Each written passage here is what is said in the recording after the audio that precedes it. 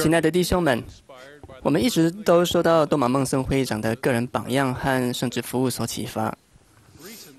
最近有人问几位执事：“你最佩服孟森会长哪一点？”一位执事想到孟森会长小时候把玩具送给穷困的朋友。另外一位执事提到孟森会长照顾自己智慧里的许多寡妇。第三位执事说。他在很年轻的时候就蒙召唤担任使徒，造福世界各地的人们。接着，一位男青年说：“我最佩服孟松会长的坚强见证。”的确，我们都感受到先知对救主耶稣基督的特别见证。他承诺随时服从圣灵的提示。孟松会长每次分享经验，都是在邀请我们更彻底的遵行福音。要努力寻求和巩固我们的个人见证。记得他在不久前的总会大会上，在这个讲台上说过：“如果要让自己坚强，抵挡住把我们拖往错误方向的一切势力，我们就必须有自己的见证才行。不论你是十二岁或一百一十二岁，或是在这之间的某个岁数，你们都可以亲自了解耶稣基督的福音是真实的。”虽然我今晚的信息主要是针对年龄接近十二岁、不是一百一十二岁的人，但是我所分享的原则适用于每个人。为了呼应孟森会长的那段话，我要问：我们每个人是否都亲自知道福音是真实的？我们是否能有自信地说，我的见证确实是自己的？我要再引用孟松会长的话。我要说，对救主和他的福音有坚强的见证，能保护你们不受周遭罪恶和邪恶的侵犯。如果你们对这些事情还没有见证，请采取必要的行动去获得见证。拥有自己的见证对你们来说是很重要，因为别人的见证对你们的帮助有限。亲自了解耶稣基督的福复兴福音是真实的，可以成为生命中最美好。和喜悦的经验之一。刚开始的时候，我们可能需要仰赖其他人的见证，就像青年战士一样。他们说：“我们不怀疑我们的母亲知道这道理。”这是很好的起点，但是我们必须在这个基础上继续进步。如果要坚定的遵行福音，最重要的就是获得和巩固自己的见证。我们必须像阿尔玛一样，能够说。我确实知道这些事。阿尔玛继续说：“你们认为我怎么会知道这些事是真的呢？看呐，我告诉你们，这些都是神的神圣之灵向我显明的。看呐，我进食祷告了许多天，已知道这些事。现在我确实知道这些事都是真实的。尼斐也像阿尔玛一样，亲自认识了真理。”尼斐听到他父亲诉说自己的许多灵性经验之后，他想要知道父亲知道的事。这不只是单纯的好奇心，他如饥如渴的想知道这些事。虽然他非常年轻，但却非常渴望知道神的奥秘。他渴望借着圣灵的力量，看到、听到和知道这些事。尼菲坐坐着在心中沉思的时候，被灵带到一座极高的山上。灵在那里问他：“你想要什么？”他的回答很简单：“我想看我父亲看到的事。”由于他全心相信，而且勤奋寻求，因此蒙福得到了一个奇妙的经验。他获得见证，看到救主耶稣基督即将出生。他的一生，并被钉在十字架上。他看到摩尔门经在物在末世问世和福音的复兴，这些都是因为他衷心渴望亲自知道。先知约瑟斯密和尼斐有类似的情况，也是在非常年轻的时候对灵性真理陷入了认真的思考。这段时间让约瑟感到极大的不安。因为他周遭的宗教信息都互相矛盾和令人困惑，他想要知道哪个教会才是对的。圣经里的这段这段话启发了他，你们中间若有缺少智慧的，应当求神。因此，他主动寻求答案。在一八二零年春天一个美丽的早晨，他走进一片树林，跪下祈祷。由于约瑟有信心，也因为神要给他一项特别的施工，所以他看见了荣耀的意象，看到父神和他的儿子耶稣基督，亲自知道他应该做什么。各位从约瑟的经验中，是否看出了一种模式？让你可以加以应用来获得和巩固自己的见证呢？约瑟让经文深入自己的心中，他深思经文，然后套用在自己的情况中。之后，他根据所学到的采取行动，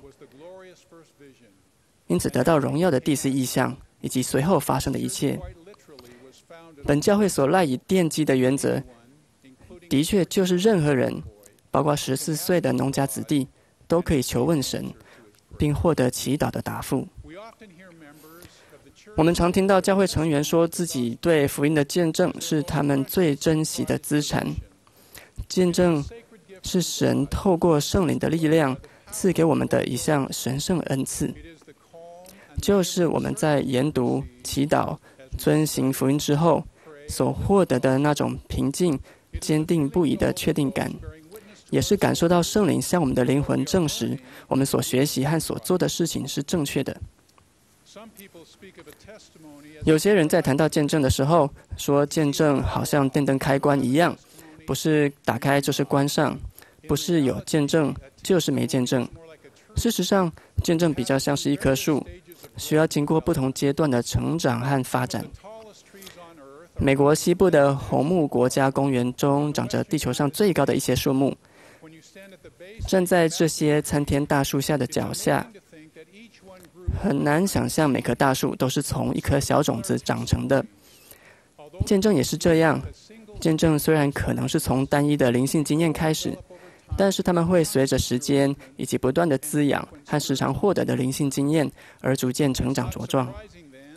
所以，先知阿尔玛用种子长成大树来说明我们该如何培养见证。也就不足为奇了。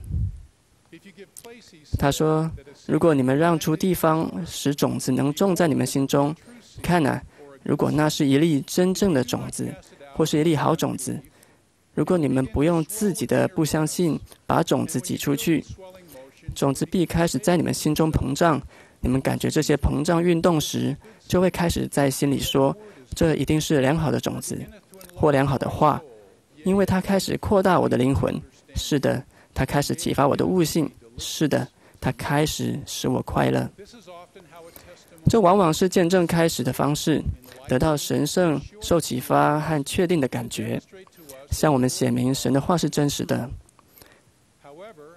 这些感觉虽然美好，但只是开始而已。让见证成长的工作尚未尚未完成。就像红木种子发芽破土而出一样，在刚开始成长的，才刚开始成长而已。如果我们忽视或疏忽一开始的灵性提示，如果我们不继续研读经文、祈祷和寻求更多感受圣灵的经验来滋养见证，那么我们的感觉就会逐渐消失，见证也会减弱。就像阿尔玛所说的：“如果你们疏忽那棵树，没有想到要加以培植，看呐。”它就一点也不生根，因为没有根，太阳的热气一晒，树就枯萎了。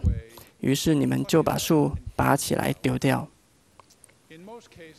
在多数的例子当中，见证成长的方式和树长大的方式一样，会因为我们持续的照顾和勤奋努力而逐渐，几乎是不知不觉的成长。阿尔玛应许，但是如果你们陪着神的话，是的。在那树开始成长的时候，就凭信心、努力和耐心加以培植，盼望树上的果子。那树一定生根，看呐，一定会长成一棵永恒生命的树。我自己的见证，在我研读和沉思摩尔门经中的教导时开始成长。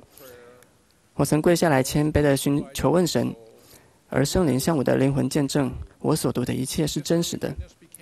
这项早期的见证促成了我获得对其他许多福音真理的见证，因为就像孟森会长所教导的，我们若知道摩尔门经是真实的，接着便会知道约瑟斯密的确是先知，他确曾看见永恒的父神和他的儿子耶稣基督，也会知道福音已经在这后期时代经由约瑟斯密复兴了，包括亚伦圣旨和麦基奇的圣旨的复兴。从那天以后，我获得了许多与圣灵有关的神圣经验。圣灵再度向我确证耶稣基督复兴的福音是真实的。我可以和阿尔玛一样确定的说，我确实知道这些事。各位年轻朋友，就是现在，今天就是时候，要亲自学习或再度确认福音是真实的。我们每个人都有一项重要的工作要做。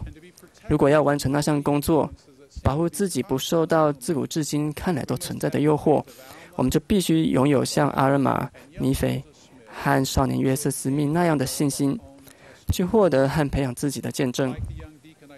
我和之前提到的那位执事一样，也很佩服孟森会长的见证。他的见证就像参天红木一样，但是就连会孟森会长的见证。也是经年累月才成长茁壮，就像孟森会长一样，我们可以亲自知道耶稣基督是我们的救主和世界的救赎主。约瑟斯密是复兴福音的先知，其中包括复兴了神的圣旨。我们持有那项神圣圣旨，愿我们都能学习这些事情，并亲自知知道这些事。我将谦卑祈求，奉耶稣基督的名，阿门。